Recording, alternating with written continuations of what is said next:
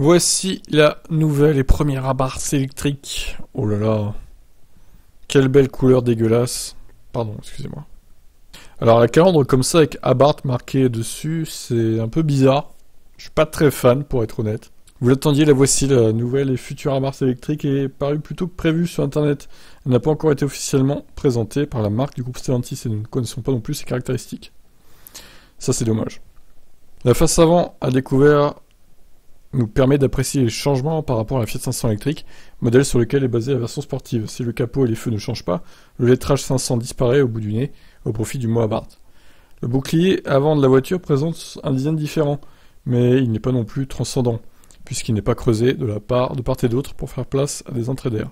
Globalement, cette Abarth est plutôt sage d'apparence. On espère qu'elle le sera beaucoup moins sur la route.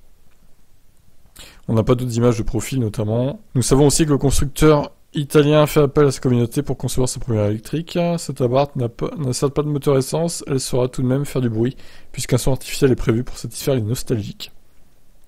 Alors les rumeurs, 0 à 107 secondes, la VMAX de 160 km/h, 42 kWh de batterie. Les rumeurs suggèrent qu'elle développera entre 130 et 150 kW, donc entre 177 chevaux et 205. Alors 205, ça serait mieux que 177 pour une sportive quand même.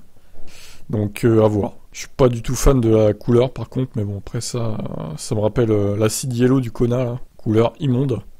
Donc voilà, je vous laisse commenter. Ciao